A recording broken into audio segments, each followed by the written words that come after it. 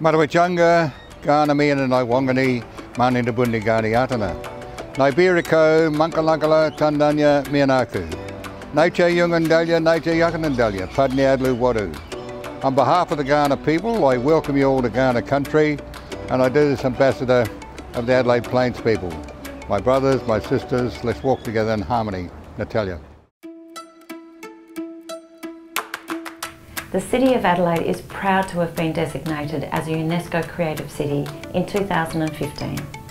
Adelaide has a rich and proud history of live music, arts, culture and festivals.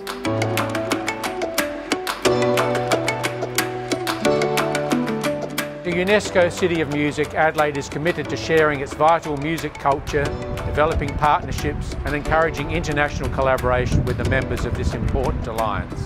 The Asia Pacific Creative Cities Conference will be the first of its kind and serve as an opportunity to outline a vision and strategy for regional cooperation and long-term partnership development.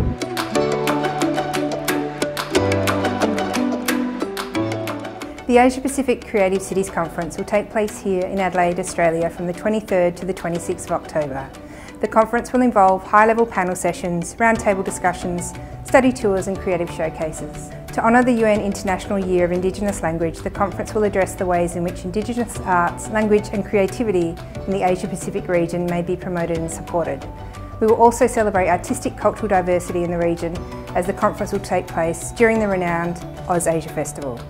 Join us for this unique event and contribute to the future of the Asia Pacific Creative Cities. Like everything else in this great Asia Pacific region in the 21st century, the arts and cultural industries are booming. And in October of this year, for the very first time, all the UNESCO creative cities across the region will meet here in Adelaide. What a great collaborative, creative opportunity